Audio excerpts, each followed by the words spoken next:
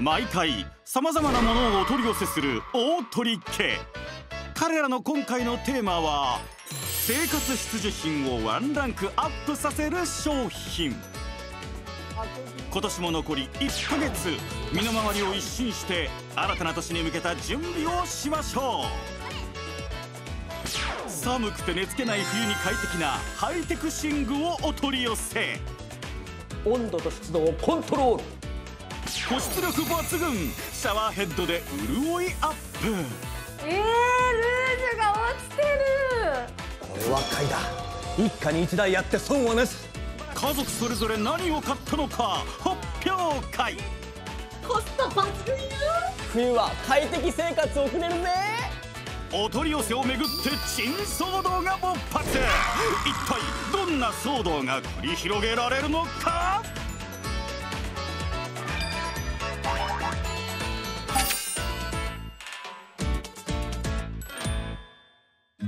父陽生と話しているのはお隣に住む大隣のひろしさん。奥さんのすみれさんとはうり二つの似た者夫婦。ああほらほらほらそろそろ始まりますよ殿様。あ本当だ。今日はどんな特集なのかな？この T シャツは売れるぞ。CM バーンと流していくらかかるんだ？社長さん。え？CBC なら1回2万円から110万円まで選べますよ。そうなの？CBC で CM ちょっと陽生君今君 CM 出てたよね。いつの間にテレビデビューなんかしちゃったのよ。言ってませんでした？あれ双子の弟なんですよ。陽生君君双子だったの？でも双子の弟さんはなんでテレビ出てるの？あのね俳優やってましてねちょっと前に土下座でブレイクしちゃってそれ以来もう土下座ばっかりやってるんです。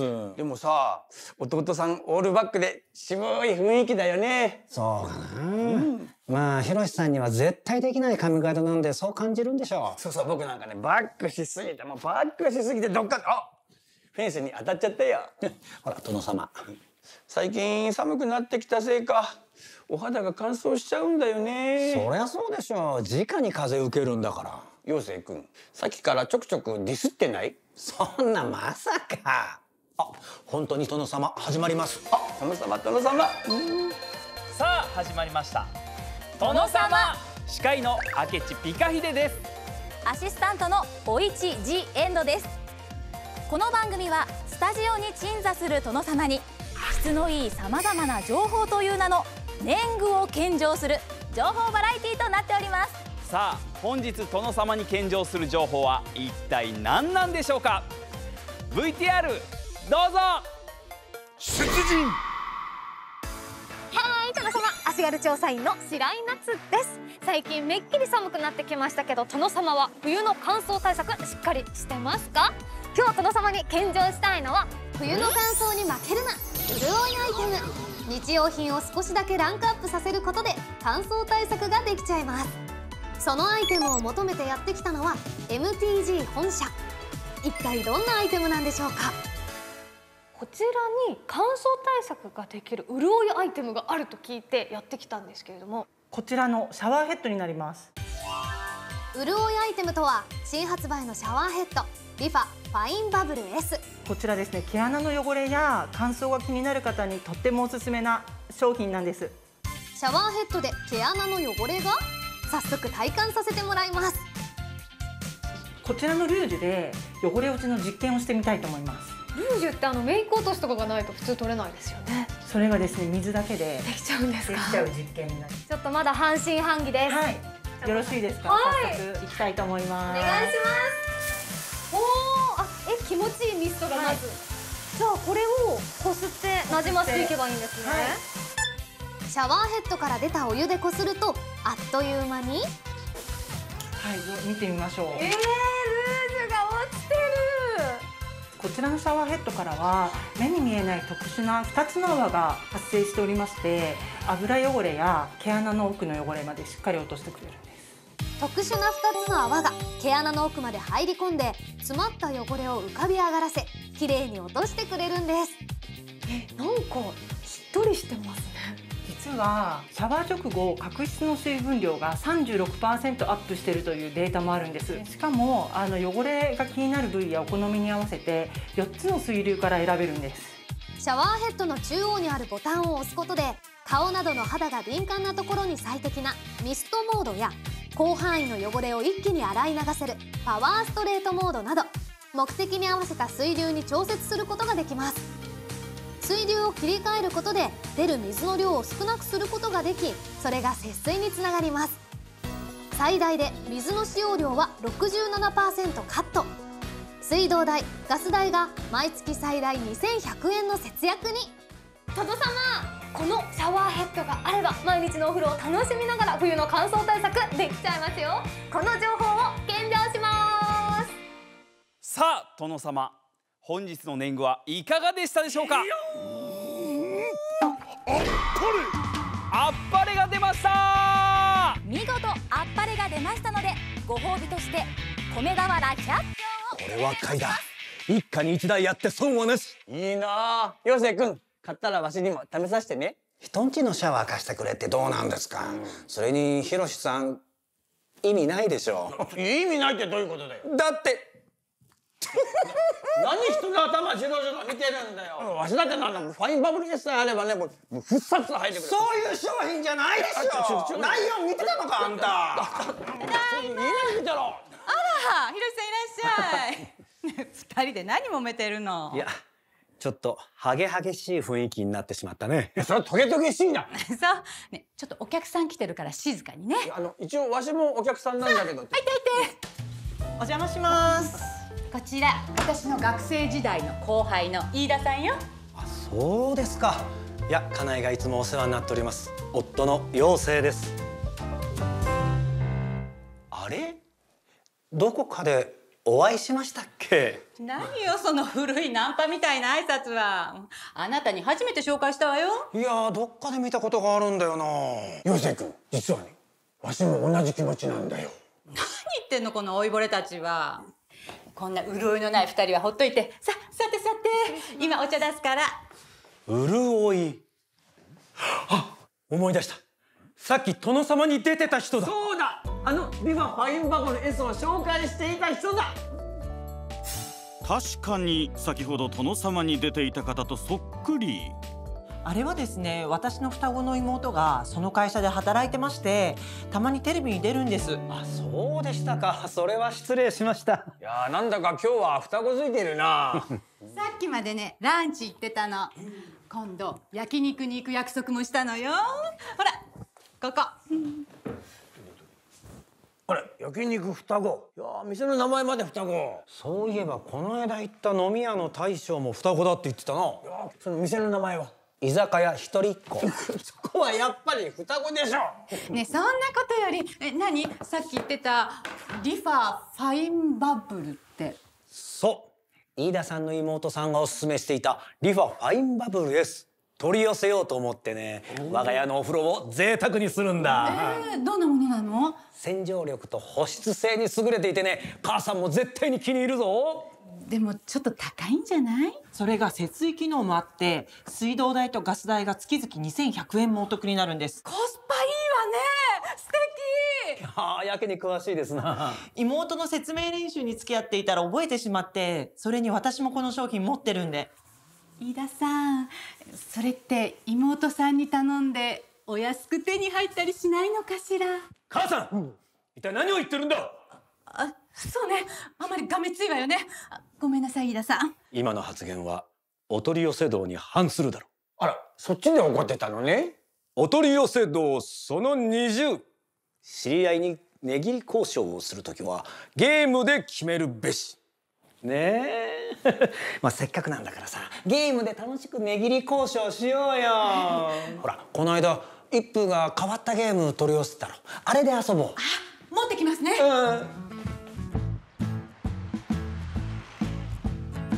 これがそのゲーム。トイレトラブルだ。変わり種商品を取り寄せる息子一風が持っていたトイレトラブルルーレットを回して出た回数分レバーを押しトイレから出てくる水を浴びた方が負けというハラハラドキドキが楽しめるゲーム。これで私とイラさんが対決し私が勝ったら安くしてもらう。それでいいかね？わかりました。絶対に負けられない戦いがここにはある。2頑張れ。ごめん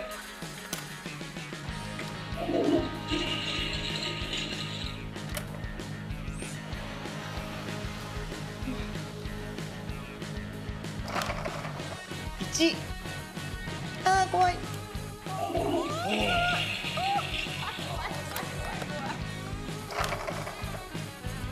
2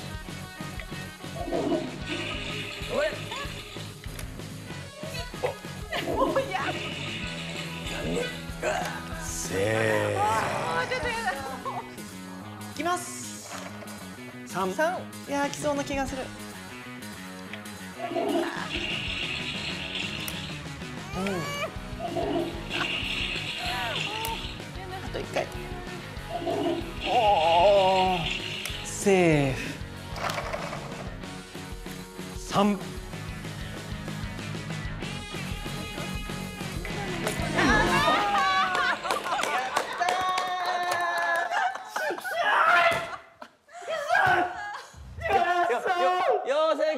そんなに悔しがらなくても。だって勝負は勝負だもん。本当にもうこういう大人げないところがあるんですもう付き合わしちゃってごめんね飯田そんなことないです。本当楽しかったです。陽生君諦めて普通に買いなさい。そうだよな、本来はこれが普通なんだから。お取り寄せのその500商品は定価で買うべしだでもそれ今作ったでしょ。もうさっきと尻滅裂よ。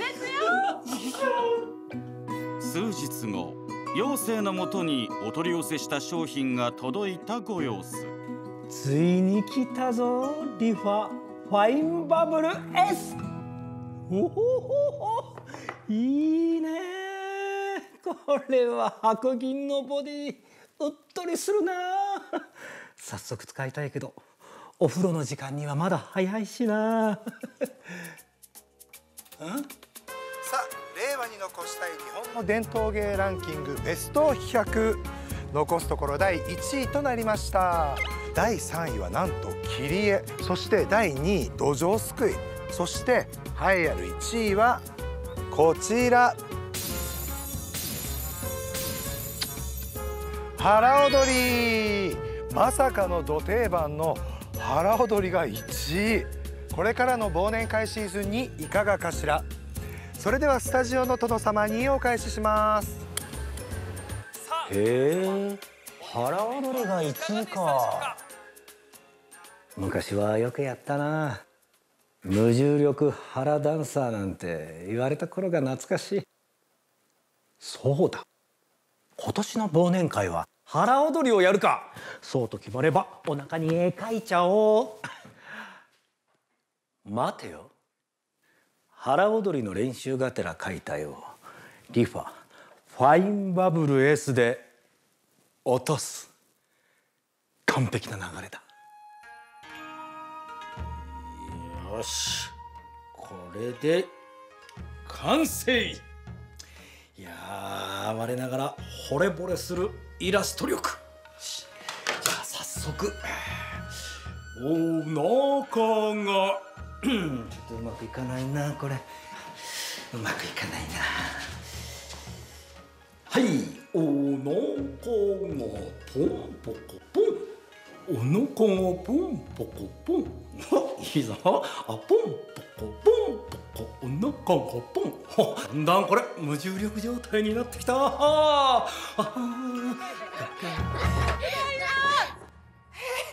いやー見ないで。いやんじゃねえよ。えてか父さん何やってんの？あ今年の忘年会で腹踊りをやるのでその練習だよ。恥ずかしいからとりあえずそれ落としてきな。はい、じゃあそうしますあそうだ。工事中で断水だから。夜までお水出ないわよ。夜までこのまま？はいお腹がポンポコ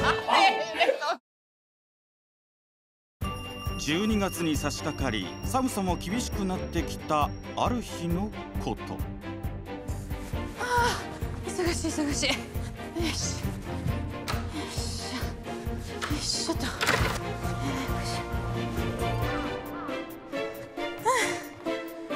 あ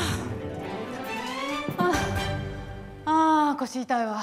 大変そうだね。そう思うなら少しは手伝ってよ。お母さん私今ねご当地鍋特集を見ながら妄想に浸ってるの。だから家事なんて手伝ってる暇ないの。ただいま、えー外はすっかり寒いよ。あおかえりなさい。あらどうしたの母さん？えらく疲れてるじゃないか。ほらもう年末じゃない。やることが多くって。あそう。なら私に手伝えることがあれば何でも言いなさい。ありがとう。それじゃあ早速お父さんにははいやることリスト。うわ字体がホラーテイスト。なんだこれは呪いの手紙か。もう失礼な違いますよほらも。う母さん本来予定というのはね日にちと時間を細かく管理してこそだよ。じゃじゃじゃじゃじゃじゃーん。スケジュール管理はこのアイテムでランクアップ。これがあればストレスフリーは間違いなし。何ですかこれ？え巻物？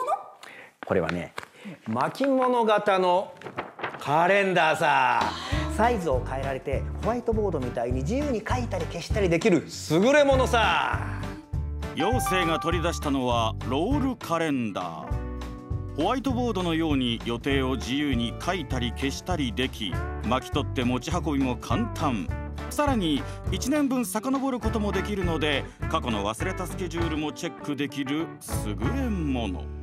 年末の忙しい仕事も家族みんなで共有すれば母さんの負担が減るだろう。お取り寄せ道その32便利アイテムにアンテナを張るべしだ。確かに使いやすそうですね。この日にちごとに書いてあるアルファベットは何ですか？これその日の予定をねアルファベットで略した私のオリジナルワード通称妖精語だ。そんな某ウィッシュの人みたいなことをしてもう何て書いてあるかわかりませんよ。日曜日に書いてある KJ って何？休日 わざわざ書かなくてもね。ねここじゃあこの月曜日のこの GMDS ってのは？あれわかんない、これゴミ出しだよ。元の言葉より長くなってません？あじゃあじゃあじゃああのこの SHACHI シャチ、なんかゼップでライブしてそうな名前のグループじゃない？最新ハイテクアイテムをチェック1時2だ。ちょっと無理やりなんじゃない？ちなみに今日のところはお？SOYO ん何ですかこれ？これはね、えー、酸っぱいおじさん酔っ払違うな。え？なんだこれ？ってそんなお父さんってあんた何その段ボール？また変なの買ってきたの。ちげえよ。さっき玄関で配達の人から受け取ったんだよ。思い出した。これが届く日をメモしてあったんだ。開運。そよだよ。そうよ。またまた妖精がお取り寄せしたアイテムは開運そよ。仰向けや横向きうつ伏せなど全ての人が自由に眠れるような形に設計された最新の寝具。さらに足元のファンで寝具内に風を通すことで温度と湿度を調整。寒くて寝つけない時期でも穏やかな眠りを届けるまさにワンランクアップした寝具なんです。俺も試したい。いいぞ。ー。これはね睡眠の質が向上すること間違いなしだ。よっしゃいい感じ。寝やすいよ。お兄ちゃんはうつ伏せで寝るタイプなんだね。それでも寝やすいなんて素敵じゃなお母さんも試したらどうだ？いいいの？もちろん。お取り寄せ道その1お取り寄せはみんなで楽しむべしだ。じゃあよいしょ。あああー苦しい。お母さんは結構豪快な寝方をするんだね。こんな機能もあるんだぞ。ソヨの電源を入れる。何したの？内部のファンが回って温度と湿度をコントロール。いいね。さすが父さんの嗅覚はすごいね。お取り寄せ道その7自分のセンスを信じるべし。だ。どうだい？母さん。あらら。母さん？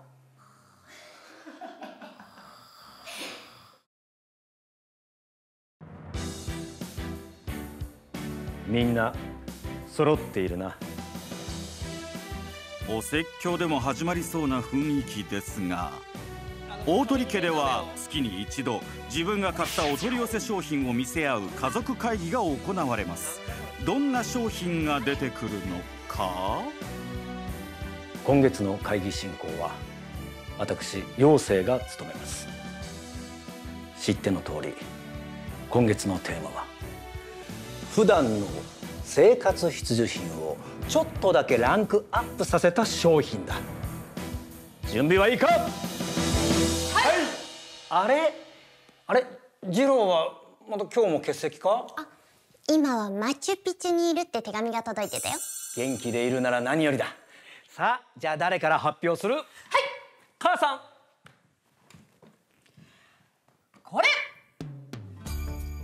お料理ケトルちょい鍋でございます。いやいやこれ普通のケトルじゃないのかい？実はこのまま料理も作れるのよ。コスパ重視の徳子がお取り寄せしたのはお料理ケトルちょい鍋。お湯を沸かすだけじゃなくコンロ不要でそのまま料理を作り食べることができる一石三鳥のアイテム。母さんらしいチョイスだなコンロとか調理器具もいらないからコスパ抜群よ。普段の家事も楽になる。わ素晴らしい。さあ次。お料理つながりで私が行きます。私が買ったお取り寄せはこれ。マッスル餃子。うわすごい名前の餃子だなおい。山盛りの餃子を食べたい。けどカロリーが気になるそれでたどり着いたのがこれ。グルメ大好きのミミがお取り寄せしたのはマッスル餃子。普通の餃子に比べてとってもヘルシー。それでいてタンパク質食物繊維も豊富な栄養満点の餃子。普通の餃子を食べるよりもたくさん食べれるし何よりカロリーをそんなに気にしなくて済む。いいじゃないか。でもあんまり食べ過ぎるなよ お次は一分俺の商品はみんな驚くぜ。これだ。なんだこれ。わかんねえだろ。うこれ実はヒーターなんだぜ。一風がお取り寄せしたのは超軽量薄型のヒーター。1ミリの薄さで40度以上に温まり仕事先や旅先にも手軽に持ち運べる冬必須のアイテム寒いの苦手だからこれ持っていけば冬は快適生活を送れるぜ。素晴らしいぞ一分。いやーこれで全部かな？みんな素晴らしい商品と巡り合えているね。それでは最後に私の。これで家族会議は解散ね。え？ご飯にしましょう。いやいやいや。するわね。いやちょちょちょちょちょ母さん母さん。えないや僕のあのこのあのちょびひげ鍋を。